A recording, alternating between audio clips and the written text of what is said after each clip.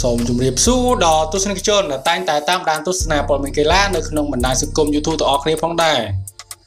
សម្រាប់ការប្រកួតនៅក្នុងពានរង្វាន់គឺចិត្តមកដល់ហើយសម្រាប់ការប្រកួតនៃក្រុមជម្រើសជាតិកម្ពុជា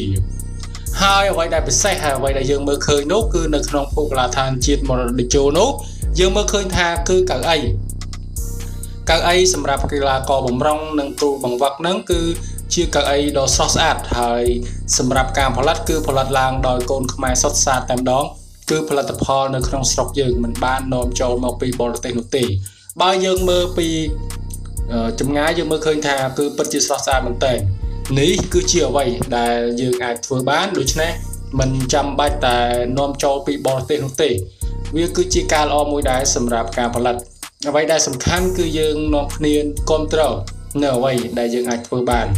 អ្វីដែលសំខាន់គឺចាប់ពីនេះទៅសង្ឃឹមថាផលិតផលខ្មែរជាច្រើននឹងមានអ្នកគ្រប់គ្រងមិនថាតែវិស័យកីឡាសូម្បីតែវិស័យផ្សេងផ្សេងសង្ឃឹមថាអ្នកនរគ្នានឹងគ្រប់គ្រងផងដែរគិតថាខ្មែរអាចធ្វើបានប៉ុន្តែអ្វីដែលសំខាន់ហើយអ្វីដែលធំបំផុតនោះគឺភាពជឿជាក់ទៅលើការប្រើប្រាស់ដូច្នេះសង្ឃឹមថាអ្នកនរគ្នានឹងគ្រប់គ្រងនៅផលិតផលខ្មែរ